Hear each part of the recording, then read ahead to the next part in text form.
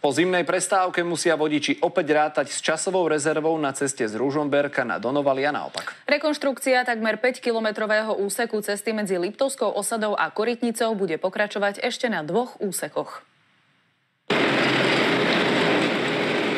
Obidva majú okolo kilometra. Vodiči si už vyskúšali, čo ich na semaforoch opäť čaká. Rozprával syn, čo chodí do roboty, že to bolo okolo hodiny. Piatky, to tu býva zapratané a určite aj o také pobede alebo také ľudia idú z práce. Som zvedavý, že čo to bude, keď pôjdem naspäť, že to vyzerali byť dlhšie kolóny. Väčšiu časť prác na celom takmer 5-kilometrovom úseku stihli v minulom roku. Teraz budú najmä klásť asfalt. Počas rekonštrukčných prác úseku cesty budú opravené priepusty a bude vymenené aj podložie.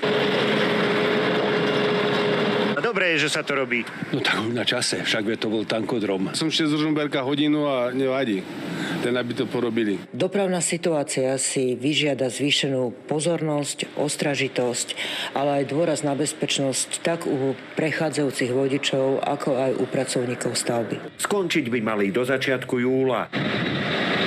Rekonštrukciu bude potrebovať aj nadvezujúci úsek od Liptovskej osady po Ružomberok. Vakom je na viacerých miestach stave, dobre znázorňuje aj tento most. Pred pár dňami sa mu už zrútilo zábradlie aj s časťou Rímsy. Je v havarínom stave. Cestári sa ním vraj začali zaoberať už pred dvoma rokmi. Práce na moste by mohli začať e, na budúci rok v marci a most by mal byť hotový o 12 mesiacov.